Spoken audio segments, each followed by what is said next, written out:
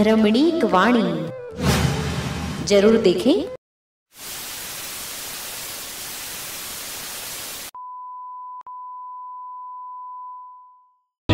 चला जाएगा? भाग्य लक्ष्मी रूठ जाएगी। राजलक्ष्मी विलीन हो जाएगी। पुत्र परिवार सहित घर छोड़ना पड़ेगा। निर्धनता की पराकाष्ठा हो जाएगी। और और अपनी आँखों के सामने, अपने ही हाथों से, अपने पुत्र परिवार को नगर के चौक में बेचना पड़ेगा। मेरे जीवन निर्माता, सदमार्गदाता, सदगुरुदेव, श्री प्रेम सुख जी महाराज साहब के पवित्र पावन चरणों में शत शत वंदन करता हूँ। उपस्थित धर्म प्रेमी बंधुओं, मेरी माताओं तथा बहनों, R for religion. Religion for requesting.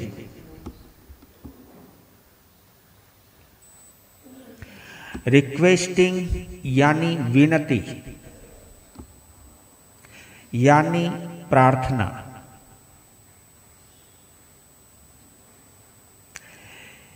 यानी शुभ भावना।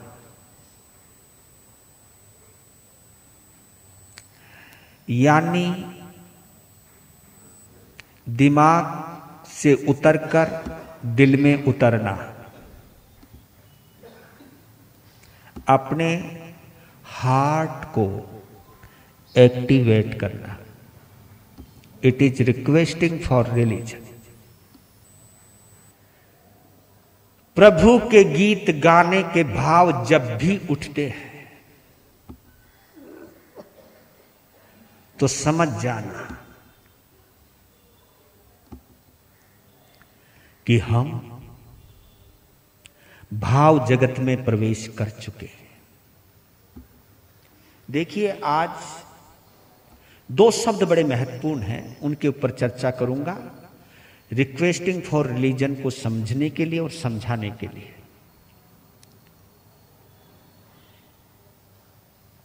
एक शब्द है भावना। एक शब्द है कल्पना। कल्पना। एक शब्द है दोनों में देखना अंतर। आपने भावना के लिए एक शब्द या एक स्लोगन पढ़ा भी हो, सुना भी हो। भावना भवनाशिनी। भावना भवनाशिनी। कल्पना कर्म बंधनी कल्पना कर्म बंधनी, भावना भवनाशिनी अगर आप अपनी वर्तमान ज़िंदगी को या अपनी ज़िंदगी के वजूद को गहराई से देखा हो या भापा हो या जांचा हो। तो एक सच्चाई निकल करके आती है। उस सच्चाई के आधार पर एक क्वेश्चन करूँ आपसे। इंद्रियाँ पावरफुल होती हैं या मन पावरफुल होता है? सोच के बोलना। इंद्रियाँ पावरफुल होती हैं या मन पावरफुल होता है? हैं?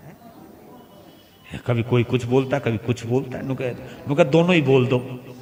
कोई तो सही निकलेगा। या यूँ कहूँ इंद्रियों में और मन में क्या फ़र्क होता है? ये फ़र्क जब हम जान जाते हैं तो पता चल जाता है कि कौन कमज़ोर है और कौन मज़बूत है?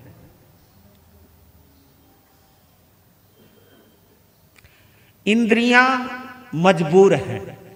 राइट इंद्रियाँ मजबूर हैं। मन मज़बूत है। कैसे? ऐसे।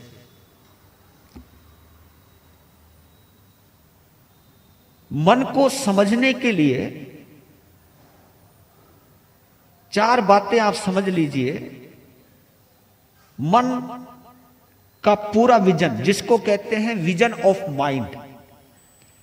मन का पूरा विजन क्लियर हो जाएगा। पहली बात, मन से चार चीज़ें जुड़ी हैं। एक स्मरण स्मरण शक्ति। ये चार शक्तियों की वजह से मन पावरफुल है। स्मरण शक्ति, जिसको हम मेमोरी बोलते हैं, स्मरण शक्ति। दूसरी, समझ शक्ति।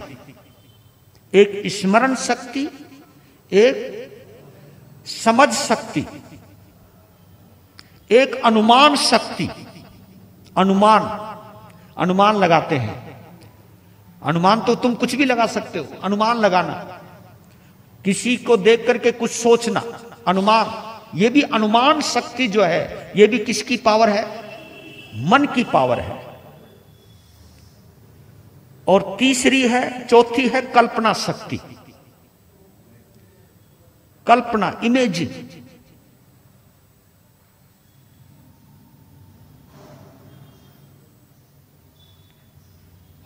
हमें इन चारों को समझना है।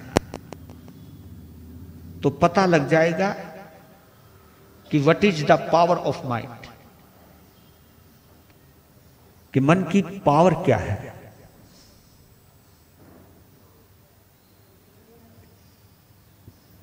माइंड की पावर क्या है?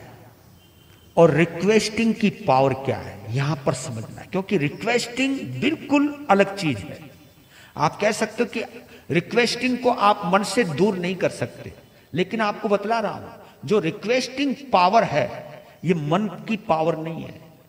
ये पावर ऑफ़ माइंड नहीं है। ये पावर ऑफ़ इनर कॉन्सियस है। जो रिक्वेस्टिंग की जो पावर है, ये पावर ऑफ़ इनर कॉन्शियस समझ रहे होंगे?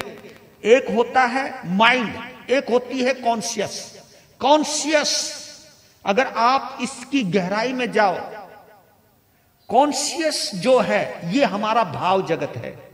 ये हमारी भावना की दुनिया है। ये भाव जगत है इनर कॉन्शियस इसी के आधार पर, क्योंकि जब तक आप मन से जुड़े रहोगे, तब तक आप केवल कल्पना शक्ति तक ही जा पाओगे। इससे आगे जा ही नहीं सकते, क्योंकि मन की शक्ति ज़्यादा से ज़्यादा कल्पना तक है। लेकिन जो भावना की शक्ति है, जो भावना भवनाशनी की जो पावर है, यानी हमारे भवों का जो नाश कर दे, हमारे कर्मों को जो नष्ट कर दे, जो हमारे मोहनीय कर्म को नष्ट कर दे, वो पावर भावना की है, वो मन की नहीं है। और ये पावर लेकर के आप पैदा हुए हैं। जितने भी हमारे तीर्थंकर भगवंत हुए हैं, जितने भी केवल ज्ञानी संत हुए हैं, जितनी भी केवल ज्ञानी आत्माएँ हुई हैं उन्होंने भाव जगत में प्रवेश करके, अंत प्रज्ञा को जागृत करके इनर कॉन्शियस यानी अंत प्रज्ञा अंत प्रज्ञा माइंड यानी खोपड़ी, अंत प्रज्ञा, यहाँ हाँ अंदर आओ। अंत का अर्थ होता है अंदर। जो अंदर की प्रज्ञा है, जो अंतर की चेतना है, जो अंतर की समझ है, जो भाव जगत की समझ है, वो पावर है इनर कॉन्शियस की। स्मरण शक्ति देखना आप। दोनों को जोड़ना। आपकी स्मरण शक्ति क्या है? जो भी आपके सामने घटित होता है, जो भी हम इन आँखों से देखते हैं, जो भी हम इन आँखों से देखते हैं, देखती वो चीज़ हट जाती है, लेकिन अंदर जो रह जाती है, वो आँखों की वजह से नहीं। वो मेमोरी पावर की वजह से, क्योंकि स्मरण है वो। कोई चीज़ देखी, वो हमें याद रह गई। तो ये पावर है स्मरण शक्ति की। आँख की पावर केवल देखने की है, बस, और कुछ नहीं। आँख केवल देखती है। इसको मैंने रखना है या नहीं रखना है, ये डिसाइड कौन करता है? ये मन करता है। मैंने इस चीज़ को अंदर रखना है, नहीं रखना है, ये इसका डिसीज़न आपके ऊपर है, आपके मन के ऊपर है। ये ज़रूरी नहीं है कि हर चीज़ रखने योग्य होती है। जो अंत प्रज्ञा से जुड़ जाता है, वो उसमें से निर्णय कर लेता है कि इस चीज़ को याद रखने से मेरा जीवन ही खराब होने वाला है। आप देखिएगा कि जल्दी आप किस चीज़ को याद रखते हो।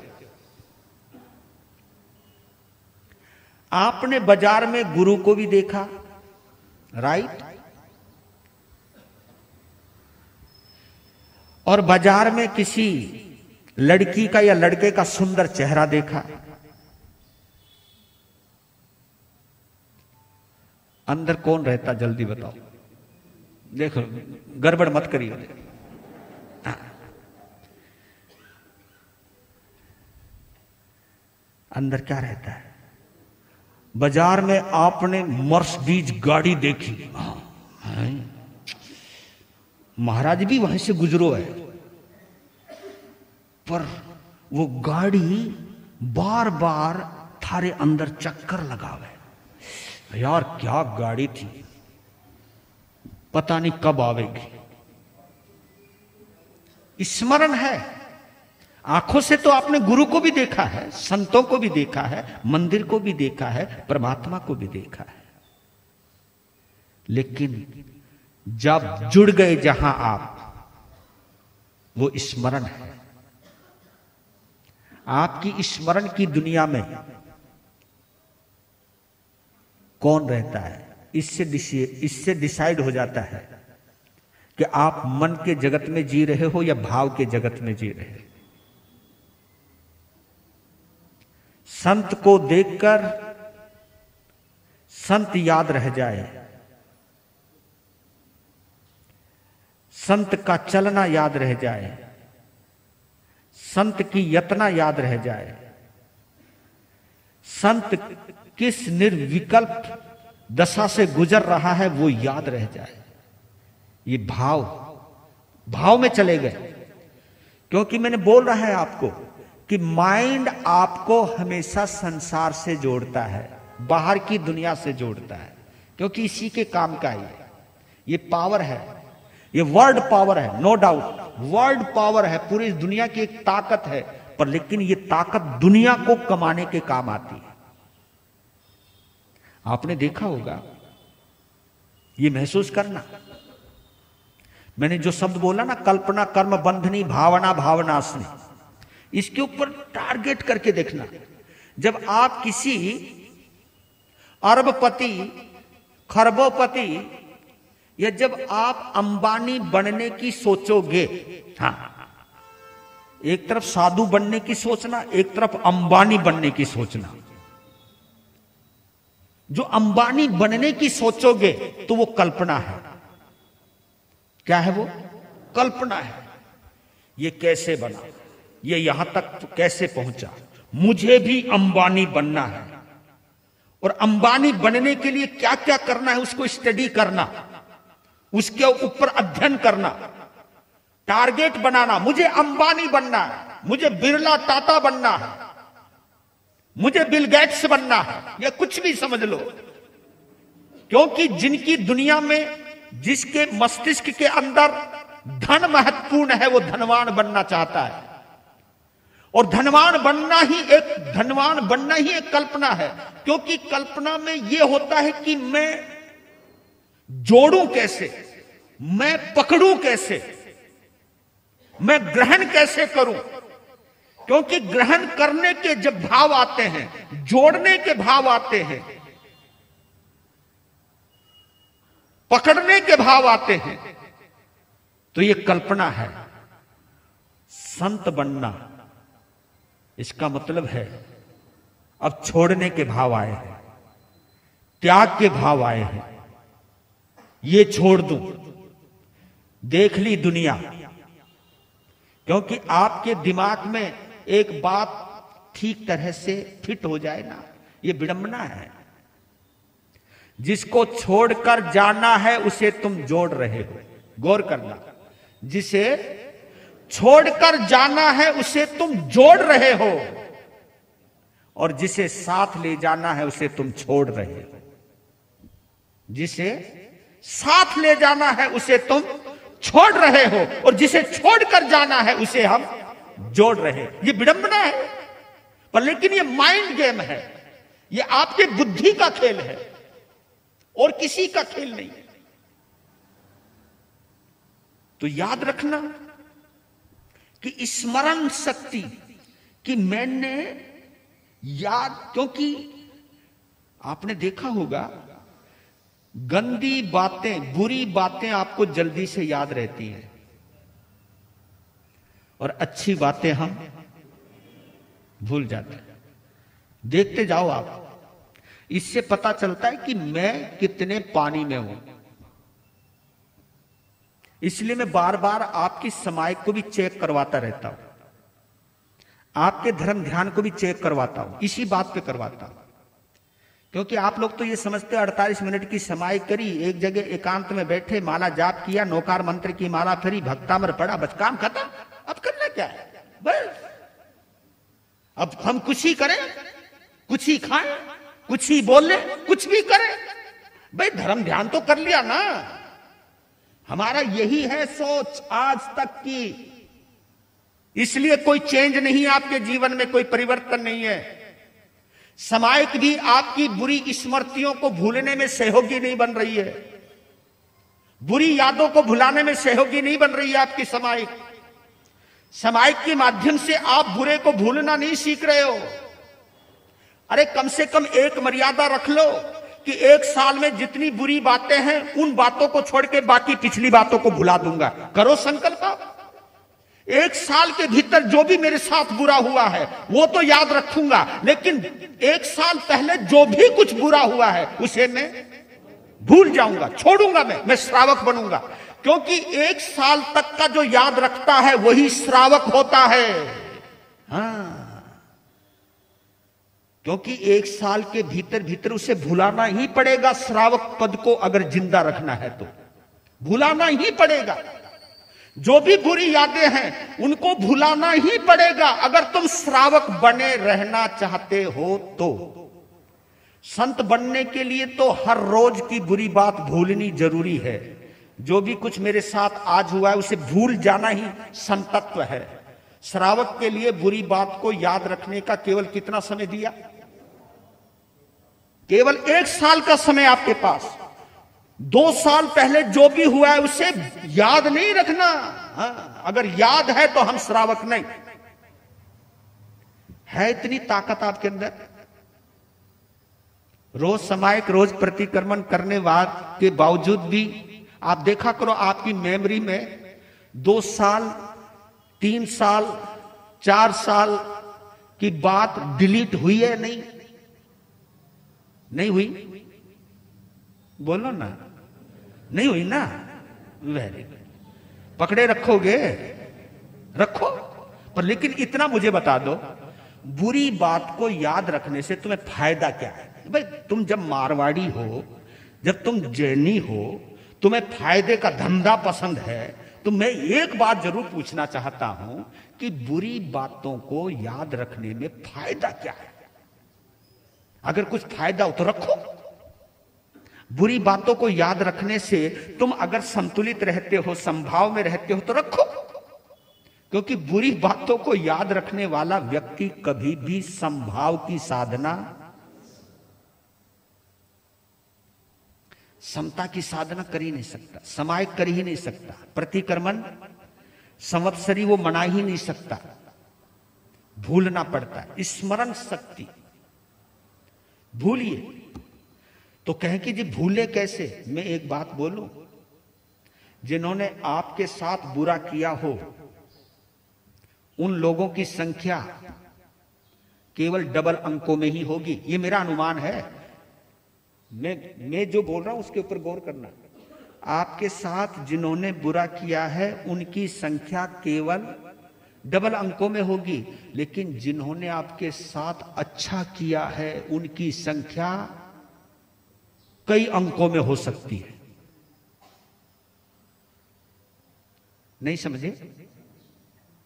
दो अंक, यानी एक, दो, तीन, निन्यानवे तक तो दो ही अंक होते हैं ना। हंड्रेड के बाद ही तो तीन अंक होते हैं। हज़ार में जाओ तो चार अंक होते हैं। अब मैं कितने अंक बढ़ाऊं? और देखो एक दूसरी बात। जिसने आपके साथ पाँच बार बुरा किया है, अगर तुम गहराई में जाओगे तो उसने पंद्रह बीस बार तुम्हारे साथ अच्छा भी किया होगा। गौर करना मैं जो बोल रहा हूँ आपको, जिसने आपके साथ पाँच बार बुरा किया, मैं तो संख्या बोल रहा हूँ, पाँच बार भी बुरा किया है, उसने कभी ना कभी आपके साथ कई बार अच्छा भी तो किया होगा। लेकिन हम अच्छे को भूल जाते हैं और बुरे को पकड़ के बैठ जाते हैं, फिर भी हम अपने आप को श्रावक कहते हैं। फिर भी हम मानते हैं कि रिलीजन फॉर रिक्वेस्टिंग रिक्वेस्टिंग यानी ये जो प्रार्थना है, ये जो आप भक्तामर का जाप करते हो, प्रतिक्रमण करते हो, समाय करते हो, जो भी हम साधु वंदना पढ़ते हैं, जो भी हम पैसठिया यंत्र की साधना करते हैं, तीर्थंकरों की पूजा करते हैं, लोगस का पाठ करते हैं, ये आप इन चीज़ों की तरफ़ में आपका ध्यान केंद्रित करना चाहता हूँ कि अगर बुरी बातों को याद रख रखा है, आपने अपनी स्मृति में संजो के रखा हुआ है तो इसका लाभ क्या है? आपका नुकसान ही हो रहा है, सच कह रहा हूँ। बुरी बातों को याद रखने से आपकी समायक एकदम आपके 48 मिनट भी व्यर्थ चले ये भाव नहीं। एक होती है समझ शक्ति। हाँ। समझ। ये भी आपकी पावर ऑफ़ माइंड है। समझ किसको कहते हैं? एक तो किसी बात को गलत समझना। हाँ। क्योंकि ये समझ सकती है। जो कभी कभी क्या होता है, जो मैं आपको समझाना चाहता हूँ, वो ना समझ के कुछ और ही समझ लेना। ये होता है या नहीं होता? और ये सब तुम्हारे ऊपर है। मेरे ऊपर तो नहीं, मैं तो बोल रहा हूँ। और पता नहीं मेरी बातों के कौन कितने कितने अर्थ लगा रहा हो तो तुम जानो। लेकिन ये समझ सकती है आपके पास, तुम एक बात के कितने अर्थ निकाल सकते हो। ये तुम्हारी पावर है। समझ सकती है। समझ सकती सही समझना और गलत समझना, ये दोनों ही उसी समझ में आती है। समझ शक्ति के दो रूप हैं। एक तो सही समझना, जो है वो समझना, एक वो है जो नहीं है वो समझना। जो है ही नहीं, वो समझना। क्योंकि कभी कभी आप अपनी समझ शक्ति से वो अर्थ निकालने लग जाते जो उसका अर्थ है ही नहीं। और वो आप लोग करते हो। हाँ। मैं कुछ समझाना चाहता हूँ, तुम कुछ और समझ रहे हो। और जितने भी जने आ रहे हैं ना, मेरे प्रवचन का हर कोई अपने अपने ढंग से अर्थ निकाल रहा है। हाँ। ये भी समझ सकते हो कि महाराज उसको ऊपर टोंट मार रहे हैं। हाँ। महाराज ने आज उसकी उतार दी। मैं तो तुम्हारी उतार रहा हूँ। तुम काहे को उसके चक्कर में पड़े हो कि उसकी उतार रहा हूँ मैं? मैं तुम्हें सुना रहा हूँ, मैं उसकी नहीं सुना रहा हूँ। पर लेकिन समझ है। कुछ का कुछ अर्थ निकालते हो आप। आपको पता नहीं, मैंने सुनाया, नहीं सुनाया। एक बार मैंने प्रवचन किया, दूसरे दिन आया, कहा कि गुरु महाराज, वही प्रवचन दोबारा सुनाओ। मैं भाई, क्या बात हुई? भाई, मैं समझा नहीं। जी, वही प्रवचन जो कल सुनाया था, दोबारा सुनाओ। अरे भाई, मैं बता तो सही क्या कि महाराज, कल का प्रवचन बड़ा गजब का था। मैं समझा कि लगता है पूरा प्रवचन अंदर चला गया इसके। मैंने तो यही अर्थ लगाया कि पूरा चला ही गया अंदर।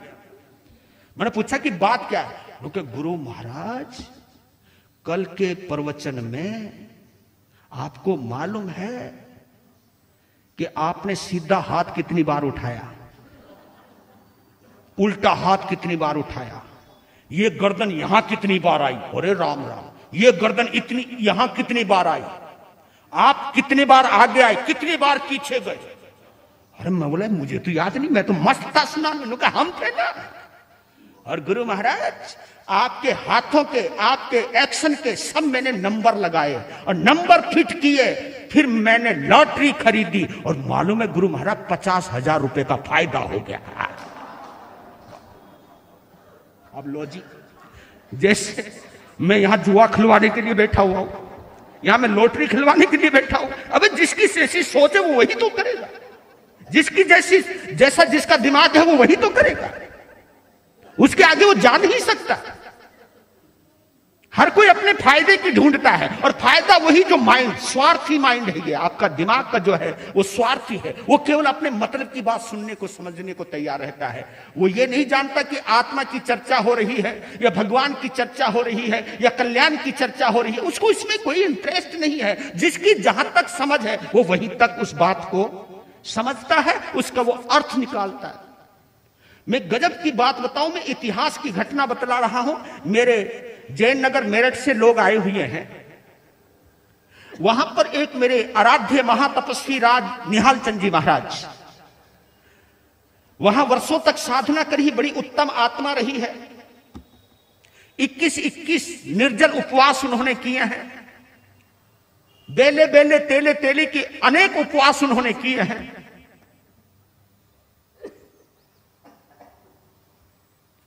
तो अधिकांश उनका जो विहार क्षेत्र था, विचरण क्षेत्र था।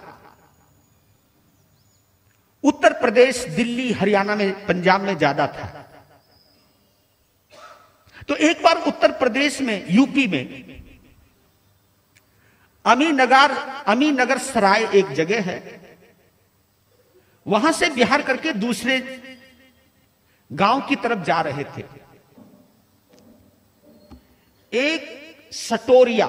सटोरिया समझते हो? सट्टा लगाने वाले। वो उनके पीछे पड़ गया। वो जहाँ जावे, वहीं जावे। जहाँ बैठे, वहीं बैठे। बाबा जी परेशान ये पता नहीं कहाँ से पीछे पड़ गया। गुरु जी हाँ भाई, दयापाल मंगल पाठ नहीं गुरु जी भाई माला ले, नहीं गुरु जी माला के लिए तो आए नहीं हो। जो माला ले समाइक समाइक भी ना करे। पीछे पड़ गया। तो आँखें लाल हो गई किनकी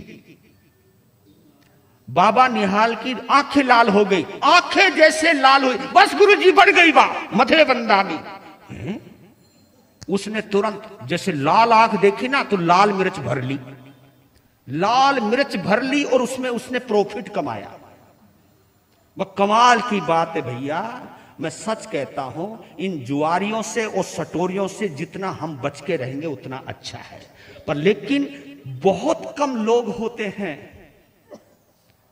जो आत्म कल्याण के लिए आते हैं, क्योंकि आत्म कल्याण के बारे में वही सोचेगा जो भाव जगत में आता है। माइंड में नहीं। क्यों? माइंड तो कभी भी तुम माइंड कर जाते हो। सच कहता हूँ, मैं दो शब्द उल्टे बोल देता हूँ तो तुरंत माइंड कर जाते हो आप। माइंड समझ गए ना आप? हाँ। माइंड करना, यानी छोटी छोटी बातों को माइंड कर जाना छोटी छोटी बातों को लगा लेना छोटी छोटी बातों पर बिदक जाना, ये माइंड करना बोलते हैं। ये दिल करना नहीं बोलते इसको। इसको हार्ट करना नहीं बोलते। इसको हम क्या बोलते हैं? माइंड कर गया, क्योंकि माइंड बड़ा नाजुक होता है। तो समझ शक्ति देखो आप। उसके बाद अनुमान शक्ति। ये पावर ऑफ़ माइंड है, अनुमान। अनुमान भी कौन लगाता है? माइंड लगाता है।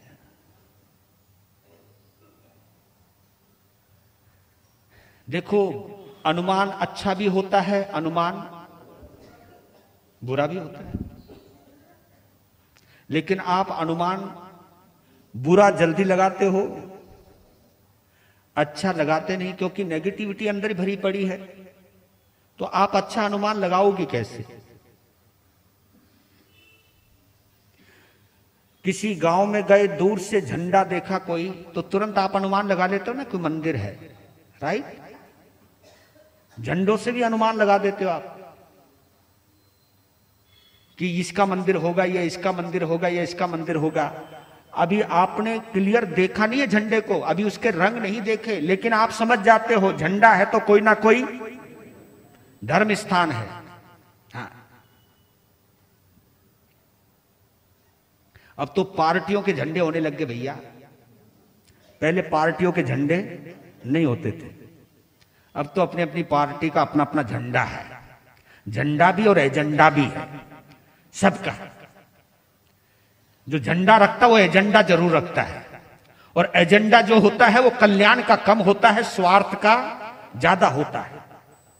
ये झंडा और एजेंडा, ये दोनों अलग अलग चीज़ है।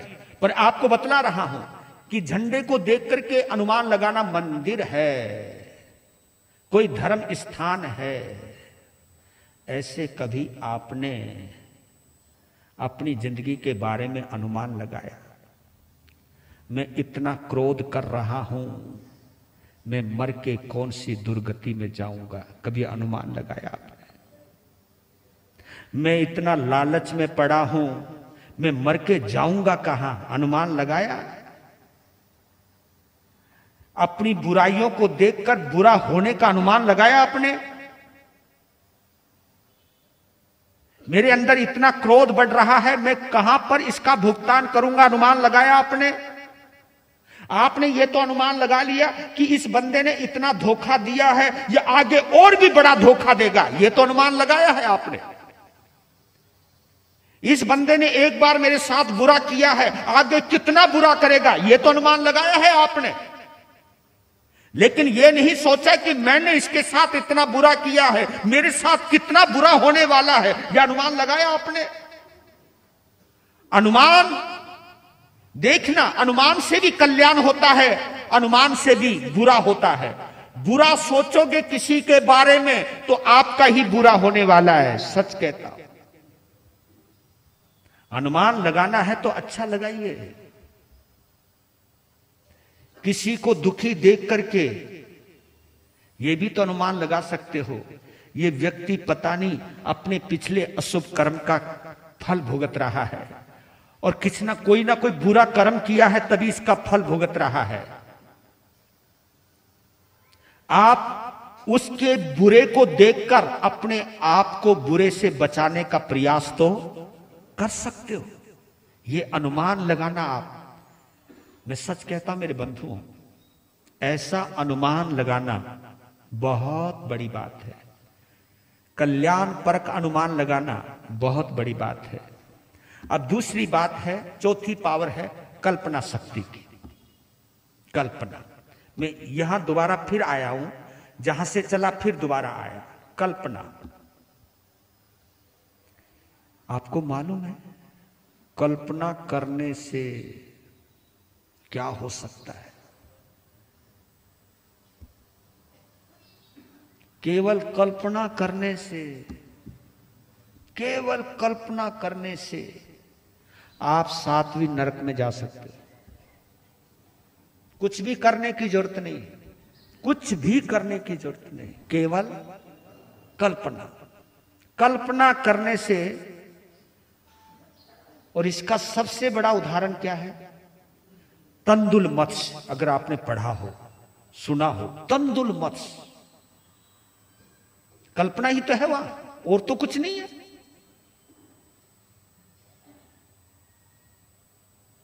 आप ये सोचिए कि जिसका शरीर केवल चावल के दाने जितना, गौर करना, तंदुल किसको कहते हैं? चावल को कहते हैं, तंदुल। तंदुल चावल को कहते हैं। और मत्स्य इसलिए कहते हैं, वो जो तंदुल मत्स्य है, उसका शरीर जो है, चावल के दाने जितना है, और मालूम है, उसकी उम्र कितनी है? एक अंतर मुहूर्त की 48 मिनट की। छोटी उम्र, छोटा शरीर और छोटी सोच। इन तीनों का संयोग मिला। एक तो उम्र छोटी। 48 मिनट है ही क्या? अंतर मुहूर्त की उम्र उसकी। और तंदुल मत्स्य जो मगरमच्छ की पलकों पर जिसका जन्म होता है, वहाँ पर बैठा रहता है। मगरमच्छ को नींद आती है, सो जाता है। जब मगरमच्छ सांस लेता है तो पानी अंदर जाता है। जब सांस छोड़ता है तो पानी बाहर आता है। पानी के साथ कई मछलियाँ अंदर आती हैं। और जब सांस छोड़ता है तो कई जो मछलियाँ अंदर गई हैं, वो मछलियाँ बाहर आ जाती हैं। और आपने देखा होगा, जब तक मगरमच्छ की आँख खुली रहती है तंदुल मत्स्य को कुछ भी दिखाई देता नहीं। क्योंकि शटर उठा हुआ है। ये आँखें क्या है? हमारा शटर ही तो है ना। हाँ वो दुकान वाला शटर। ये शटर है। अब ये वो यहाँ यहाँ पर बैठा हुआ है। अगर आँख खुली है तो पीछे गया ना। जैसी आँख बंद हुई बाहर जब आँख खुली हो, मगरमच्छ की उसे कुछ भी दिखाई नहीं देता। मगरमच्छ की आँख बंद हो जाती है तो उसे सब कुछ दिखाई देता है। अगर उसकी, मगरमच्छ की आँख खुली हो तो उसे कुछ नहीं दिखाई देता, पीछे रहता है। जब मगरमच्छ सोता है तो नेचुरली है, उसकी आँख बंद हो गई, किसकी खुल गई? मगरमच्छ की आँख बंद हुई तो किसकी खुली? तंदुल मच्छ की खुली। और जब वो मछलियों को अंदर आते हुए देखता है और बाहर जाते हुए देखता है, वो छोटे से छोटे पाँव होते वो दबाता है। हम्म? अबे क्या कर रहा है? क्या कर रहा है? देख, कितनी प्यारी प्यारी चिकनी चिकनी मछली आई और सब बाहर निकल गई। पागल है क्या? अब देखना कल्पना क्या है कि अगर इस मगर मगरमच्छ की जगह मैं होता, ये कल्पना है। अगर इस मगरमच्छ की जगह मैं होता, क्या मजाल? एक भी मछली ज़िंदा चली जाती। केवल इसी के आधार पर मरकर सातवीं, यहाँ पर हमें रुकना है। मेरे श्रावकों आपको भी और मुझको भी, केवल केवल। सोचने मात्र से भी मैं नरक में जा सकता हूँ। यह मत सोचना मैं साधु बन गया तो नरक में नहीं जा सकता। यह मत सोचना कि मैं मांस खमन करने वाला तपस्वी हूँ तो मैं नरक में नहीं जा सकता। सोचना भी मत। यह भी मत सोचना कि मैंने सवा करोड़ बार नौकार मंत्र का जाप कर लिया तो नरक में तो मुझे जाना ही नहीं है। काहे को झगड़े में पड़ रहे भैया? ऐसी गलत फहमी में मत पड़ना।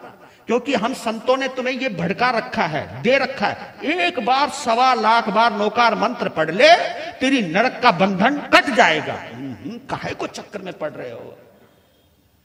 सवा लाख तो क्या सवा करोड़ बार भी नौकार मंत्र पढ़ लोगे तो भी नरक में जाने से बच नहीं पाओगे। नरक से तो जब बचोगे जब किसी को सताने की भावना से दूर हटोगे तब जाओगे स्वर्ग में आप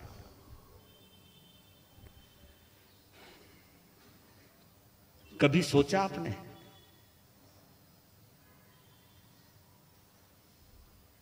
भावना से मिलती है मुक्ति, कल्पना से होता है निदान। हाँ। निदान, समझते होंगे? हाँ। तीन शल्य हैं, तीन कांटे हैं, जिसमें एक ये भी कांटा है, निदान शल्य। कल्पना से। ये कल्पना करते हैं।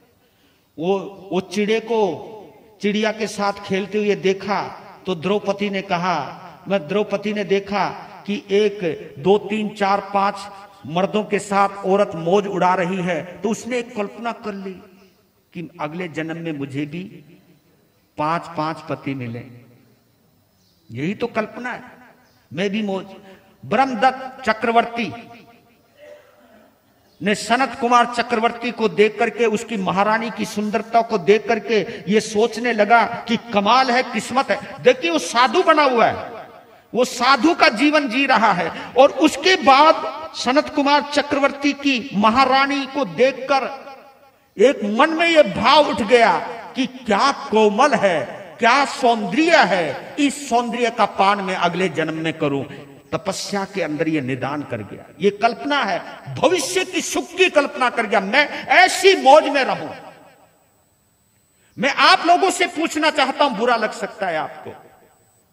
आपके मन में कभी एक ख्याल आया कि मेरा कर्जा चुकाने के लिए, मेरा, जो मैंने दिया है, उसको चुकाने के लिए, मेरा कर्जा चुकाने के लिए कोई अपना घर बेचने को मजबूर हो रहा है तो आपके दिल में एक भाव आया कि मेरा कर्जा चुकाने के लिए इसको अपना घर बेचना पड़ रहा है। अगर इसने मेरा दिया हुआ पैसा नहीं दिया तो मुझको कोई ज़्यादा फ़र्क पड़ने वाला नहीं है। तो कम से कम मैं इसका घर नहीं बिकने दूँगा। आपके मन में कभी भाव आता है? कभी ये दिल में आता है? आप ये बोल दे तो चाहे तो अपना घर बेच, चाहे तू कुछ भी कर, मुझे मेरा पैसा चाहिए। और मुझे कुछ नहीं चाहिए। आप इतने निर्दयी हो जाते हो। आप इतने दयाहीन हो जाते हो कि तुम्हारा कर्म चुकाने के लिए दूसरा बर्बाद हो जाए तो हो जाओ। नहीं। मेरे शब्द बुरे लग सकते हैं, मैं माफ़ी माँगता हूँ आपसे। लेकिन जिसमें सह हृदयता रहती है, जिसमें भावना रहती है, वो कभी ऐसी कल्पना नहीं करता। आपने कभी सोचा कि मैं अपने अपने आप को हंसाने के लिए किसी को रुलाऊँगा नहीं। कभी आया आपके दिल में कि कोई रोए और उनके आंसुओं पर मैं हंसू? यह पाप मैं अपनी ज़िंदगी में कभी भी नहीं करूँगा। मन में ऐसे भाव आए कि नहीं आए आपके अंदर। अगर आए हैं तो सच्चे श्रावक हो आप, सच्चा संत हूँ मैं। ये भाव कि अपने आप को हंसाने के लिए मैं किसी को रोने नहीं दूँगा, ये मेरा संकल्प है। मैं अपने आप को जीवित रखने के लिए किसी की ज़िंदगी को खतरे में नहीं डालूँगा यह मेरा संकल्प है। इस तरह का संकल्प रखना यह भाव है यह इनर कॉन्सियस है। मैं आपको हम्म हम्म बोलो मत प्लीज़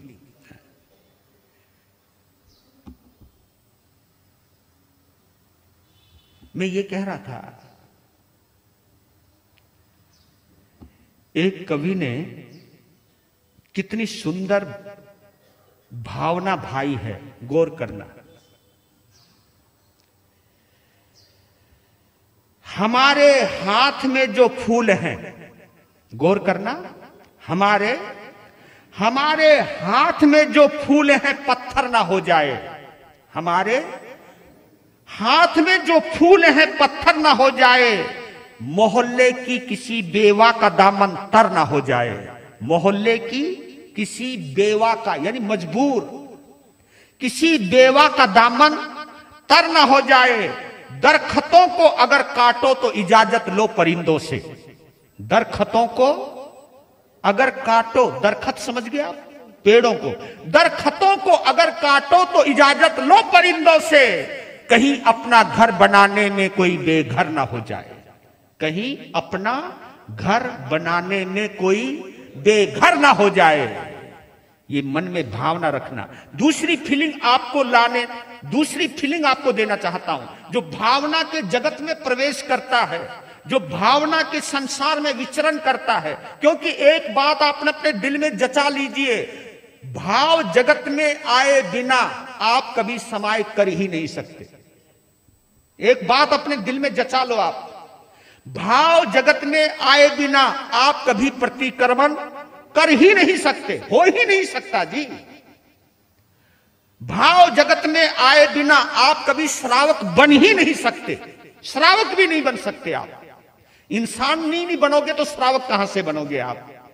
भाव जगत में आए बिना मैं संत बन ही नहीं सकता। और जिन्होंने बुलंदियों को छुआ है जिन्होंने मुक्ति को प्राप्त किया है वो भाव जगत में प्रवेश करने के बाद माइंड से बाहर निकलने के बाद मन से पार जाने के बाद इनर कॉन्शियस में प्रवेश करने के बाद अंत प्रज्ञा से साक्षात्कार करने के बाद वो प्रवेश करते हैं। गौर करना चार लाइनें और दे रहा हूँ आपको। एक कवि ने क्या कहा? वो वो कौन? वो तुम्हारी आत्मा भी हो सकती है तुम्हारा परमात्मा भी हो सकता है तुम्हारा कर्म भी हो सकता है। वो वो अपने कैमरे से आ, कैमरा है उसके पास। आप तो केवल सीसी कैमरा लगाते हो। लेकिन ऊपर वाले का भी सीसी कैमरा बड़ा रिवॉल्विंग है। रिवॉल्विंग समझ रहे हो आप? उससे कुछ बच नहीं सकते। इस कैमरे के ऊपर तो आप कपड़ा भी डाल सकते हो। इसका मुँह ऊपर भी कर सकते हो। इसको तुम बंद भी कर सकते हो। लेकिन उसका कैमरा कभी हाँ ये, उस कैमरे की याद करना और ये गौर करना। वो अपने कैमरे से ज़िंदगी के सीन लेता है। वाह। वो अपने कैमरे से ज़िंदगी के सीन लेता है। वो अपने चाहने वालों के दुखड़े बीन लेता है। वो अपने चाहने वालों के दुखड़े बीन लेता है, वो अपने कैमरे से ज़िंदगी के सीन लेता है, वो अपने चाहने वालों के दुखड़े बीन लेता है। कभी भूले से, ओहो, कभी भूले से बेटी, कभी भूले से बेटी को गर्भ में तुम मार मत देना।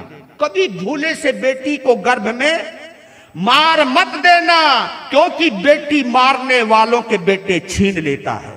बेटी को मारने वालों के बेटे छीन लेता है। जिनके यहाँ बेटे नहीं होते, उन्होंने कभी ना कभी किसी के बेटे मारे हैं। बेटियों को मारा है। बेटियों को मारना ही सबसे बड़ा पाप है। ये नवरात्रे चल रहे हैं। देवियों के, मैं तो समझ में नहीं आता तुम देवियों की पूजा करते हो और देवी को ही मार देते हो। क्या विडंबना है? घर में जब नवरात्रि की पूर्णाहुति करते हैं ना तो कई लोग कन्याओं को जिमाने के लिए कन्याओं को बुला बुला करके लाते हैं। छोटी छोटी कन्याओं को बुला के लाते हैं। अपने नौ, नवरात्रि की पूर्णा होती, यहाँ होता है या नहीं होता मैं, मुझे मालूम नहीं। लेकिन उत्तर भारत के अंदर नवरात्रि की अष्टमी में या नौवीं की कढ़ाई करने के बाद छोटी छोटी कन्याओं को बुला करके लाया जाता है। बिना बेटियों के खिलाए वो नौ दिन का अनुष्ठान पूरा नहीं होता। तो कभी ये ख्याल नहीं आया आपके अंदर? हम थोड़े से में यही सोच लेते, नहीं। और मुझे बहुत दुख होता है। जब बेटी का जन्म होता है तो आपके चेहरे पे खुशी नहीं होती। और बेटे का जन्म हो जाए, गुरु महाराज बड़ी कृपा। कृपा तो पहले भी थी। अब कौन सी विशेष हो गई? ये जो आपके चेहरे के रंग बदलते रहता है ना, बदलते हुए रंग को बेटियाँ बड़ी नजदीकी से देखती हैं। उनका दिल दुखता है। बिना बेटियों के कभी बेटे पैदा हो भी नहीं सकते। ये बेटियों की करामात है, देवियों को भी पैदा करती है और देवताओं को भी पैदा करती है। इस चीज़ के ऊपर आप लोग अवश्य ध्यान रखिए भाव जगत में प्रवेश करना है। अगर आप रिक्वेस्टिंग पावर को महसूस करना चाहते हो रिलीजन फॉर रिक्वेस्टिंग अगर इस चीज़ को महसूस करना चाहते हो तो आप अपनी अंतर की संवेदनाओं को जगाने का प्रयास कीजिएगा। संवेदनशील बनिएगा। किसी के दर्द को महसूस करने की काबिलियत प्रकट कीजिएगा। सच कहता हूँ, आप चलते फिरते परमात्मा बन जाओगे। किसी के दर्द को महसूस करने वाला जो दर्दमंद होता है, वही इस धरती पर फरिश्ता होता है, वही देवता होता है। वही साधु होता है, वही श्रावक होता है, वही भक्त होता है, जो किसी के दर्द को महसूस नहीं करता है, वो कुछ भी नहीं होता है। होता है तो सिर्फ़ शैतान होता है होता है तो दरिंदा होता है होता है तो सिर दर्द होता है। बस आपके रिलीजन का एक ही फल है कि हम हम दर्द बने। जितनी मात्रा में आप हम दर्द बनोगे, उतनी मात्रा में आप पवित्र हो जाओगे। प्रेम हमें पवित्र बनाता है। प्यार हमें पवित्र बनाता है। नफरत हमें गंदा करती है। दुर्भावना हमें गंदगी से भर देती है। बस इतना कहता हूँ अंबानी बनने की बजाय कोई संत बनने के भाव जागने चाहिए आपके अंदर। क्योंकि अंबानी बनोगे तो पता नहीं कितने पाप करने पड़ेंगे। कितने पाप करने पड़ेंगे। लेकिन अगर संत बनना है तो कितने पाप छोड़ने पड़ेंगे। पाप छूट जाएँगे पाप छूटते ही आप संत बन सकते हो। अगर सच्चे संत बन गए तो अरिहंत भी बन सकते हो। गारंटी है इस बात की। पर लेकिन अगर आपने बहुत बड़ा दुनिया की दृष्टि में बनने की कोशिश करे तो पता नहीं कितनों को कुचलना पड़ेगा, कितनों को छोटा समझना पड़ेगा, कितनों को छोटा करना पड़ेगा। तब जाकर के आप बड़े बन सकते हो। तो प्लीज़ अगर हमारे अंदर संवेदना है तो हम ये भाव उठाएँ कि नहीं, बड़ा बनना है तो अंदर का बनना है। बड़ा बनना है तो अंदर भगवान को बैठाना है। अंदर शैतान नहीं बैठाना। अंदर के परमात्मा को याद करना है। समय हुआ आपका।